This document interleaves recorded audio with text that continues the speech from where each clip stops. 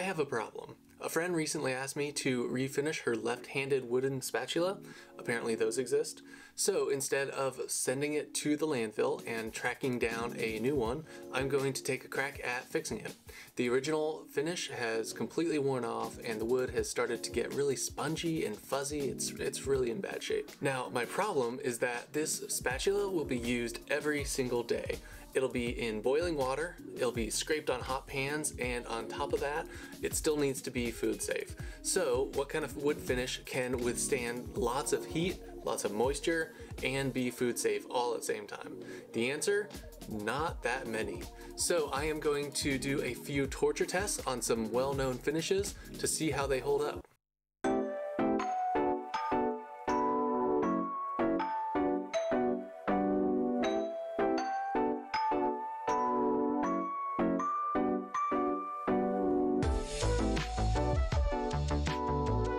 So there's a lot of terminology for finishes out there, and I want to clarify some of these terms before diving in. So the word solvent encaptures a large range of chemical mixtures, mostly petroleum based, and used to dissolve finishes and sometimes used as thinners, um, generally not food safe. Varnishes are slow drying sealants made of resins, oils, and solvents, not generally food safe as well because they contain solvents. Sealants' main job is to repel moisture. Again, most are not food safe. And then we have wax, which is typically made of natural materials. Think beeswax, carnauba wax. Uh, it helps to even out the sheen and add some protection to the wood.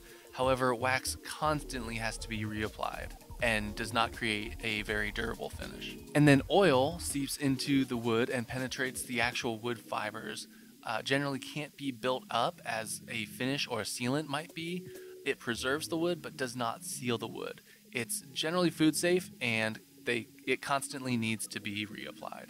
So the big issue is that durable finishes are generally not considered food safe and naturally made food safe finishes are generally not durable and we're looking for something that does both. So I've gathered my A team of wood finishes and we are going to see what works best. First we've got shellac. It's a finish and a sealer and is made from these little bugs. I also grabbed this spray shellac but after reading the ingredients we're going to pass on this one unless acetone and petroleum gas sounds appetizing. Now walrus oil. I have not actually used this stuff before so I'm really excited to try it out.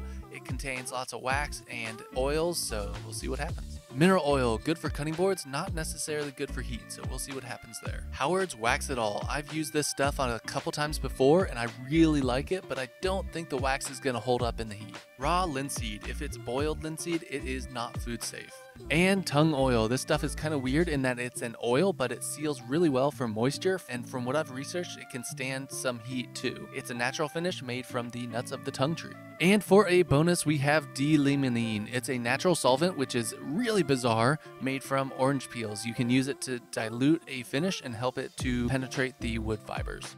I've got a few sample pieces of cherry that I'm going to be using. I'm sanding these down to 150 grit just to help level the playing field. Then I'm going to label each one just so I have a reference of which one is which.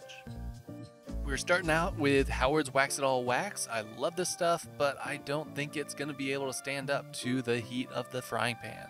This stuff goes on really thick and is really fun to put on on a lid.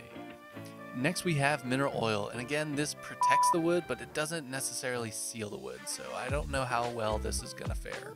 I also don't want my friend to have to reapply this stuff every month or so, so I think this is just a no-go from the start, but we'll see. Next is walrus oil. Does not contain real walrus, but it does contain coconut oil, beeswax, and mineral oil, and vitamin E. It really has that coconut oil uh, texture, which is really weird for a finish to have this kind of texture, but uh, let's go with it. Next up is shellac. This stuff kind of smells like apple cider to me, but maybe that's just me and the winter vibes are kicking in. Next is linseed oil, which apparently is made from flax seeds, which I did not know. Next, tung oil, which doesn't smell that great. Tung oil takes a bunch of coats and lots of curing time, but once it's dry, it creates a sealed exterior layer, which I think is what we're looking for. Also, if you use it before it's cured, uh, it is not food safe. It has the consistency of like honey or something, which really helps it to create that exterior layer of seal Um, however, it doesn't do that well as far as like a penetrating oil.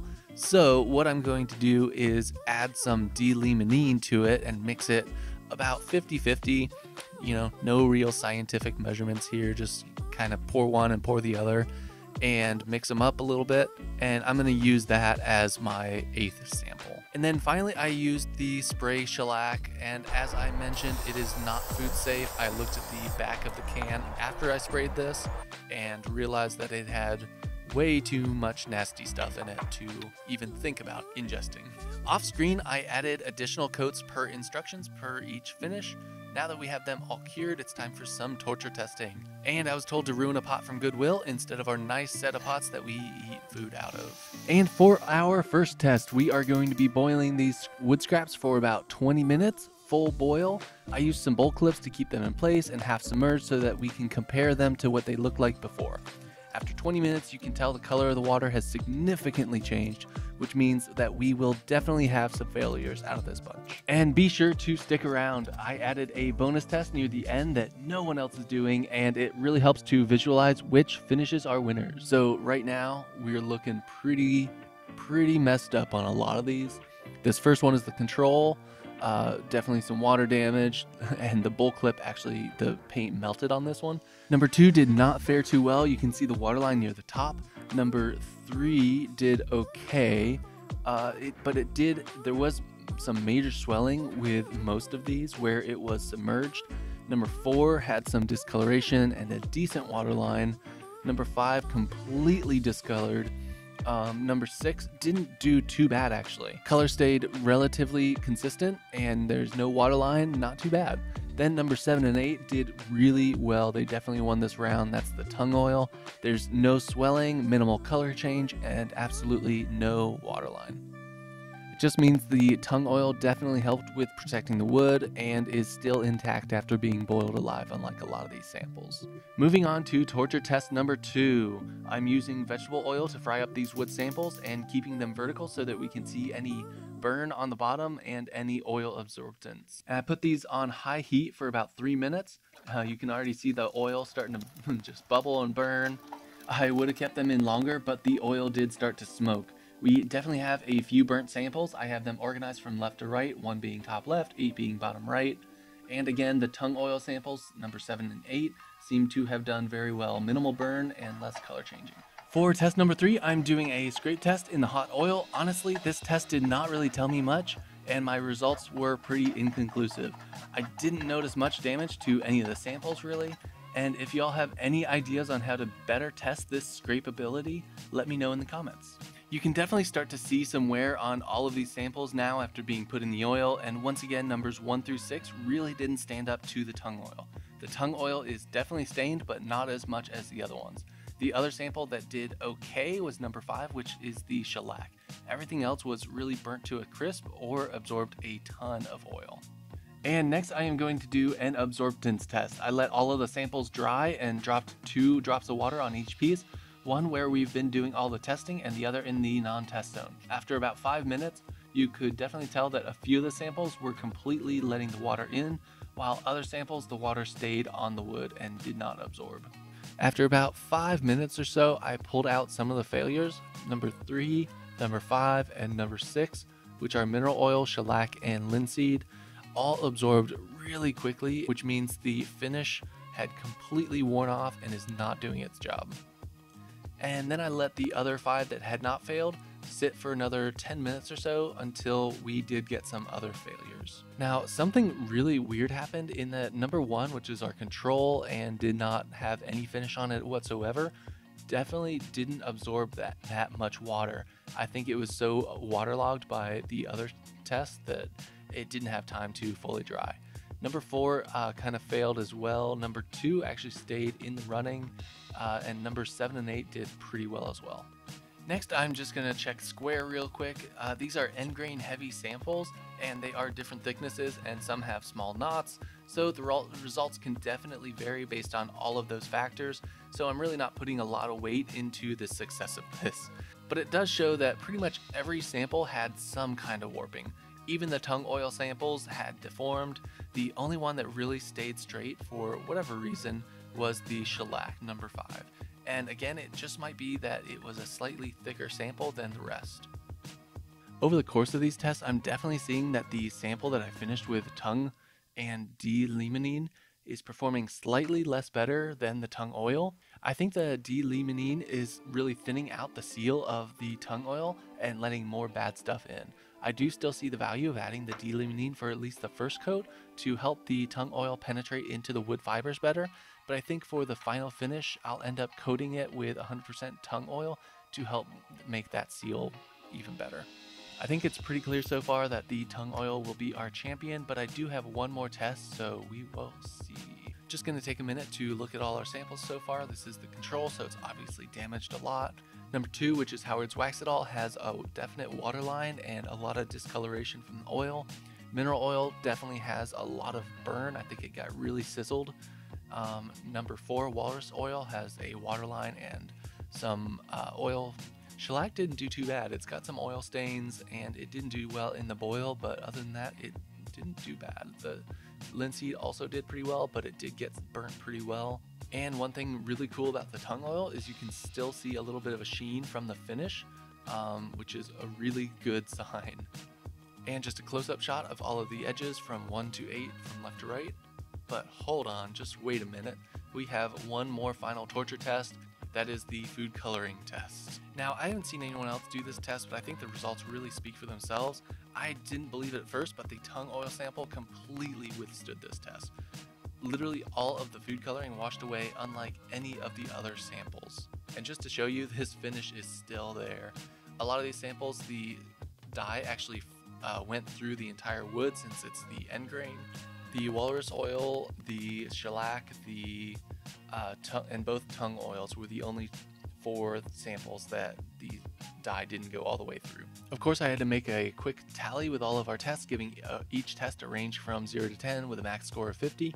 The te scrape test I just gave everyone a 5 since it was kind of inconclusive. Both tung oil samples clearly outshone the rest, with walrus oil coming in third and shellac close behind. So give it up to Tung oil. Just look how happy these little tung nuts are. Way to go, guys. But that is not the end of this video because tung oil is a very tricky time intensive finish to get right and if you don't follow the instructions you can get a inferior finish that does not seal properly. First I'm going to sand this left-handed spoon down starting at 150 grit, then 200, moving to 400, then 1000 wet. Now 1000 is probably just overkill, but I love how smooth it gets. And note to self, keep the sanded spoon away from ink. Now I have to resand to get that magenta out. Now, please roast me in the comments for this crappy finish stand. I wanted something that holds the spoon while it dries. This is probably my best work. Time to whip out the tung oil. As I mentioned before, I'm going to do one coat with 50-50 tung oil and D-limonene, a natural solvent that thins out the tung oil and helps it to penetrate the wood. Then I'm going to come back with additional coats of just pure tung oil. Don't ever buy anything that doesn't say 100% pure tung oil because a lot of times companies will falsely advertise and say it is tung oil when it is really tung oil with non-food safe additives. So next four coats of pure tung oil spaced 24 hours apart and after an hour of applying I wipe off any excess to avoid the coat uh, building up unevenly. It is looking so good so far. Tung oil gives your wood a really nice natural matte finish. It doesn't have that plastic sheen that like a poly or like an epoxy would have. Before the final coat, I'm just going to hit it with a 1000 grit sandpaper just to smooth it out a little bit and then go over it one more time with the tung oil for a total of six layers. I'm going to put this last layer of tung oil on very thinly just to cover up anywhere where I might have sanded a little bit too much. And that should do it. Now, the weird thing about tung oil is that in order for it to be food safe, it has to sit for 30 days to cure and seal, which is a long time, but it's totally worth it. Also, in a dark location is preferable. Now, did somebody say B roll?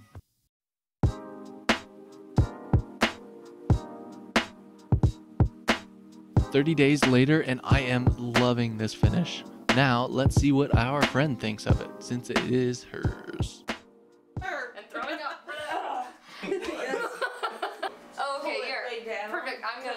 Gonna say a bunch of stuff, and while Brad's editing, he can deal with that. wow. Do I? So the stirring capacity is pretty great. What's cool is like it gets rid of the, the water. Like, is like, I don't want to be on here. It's a great finish. and I wish I had my phone so I could start playing copyright music. What? I think it's safe to say that she loved it. Now, if you liked this video, hit subscribe to see some more. Thanks for watching.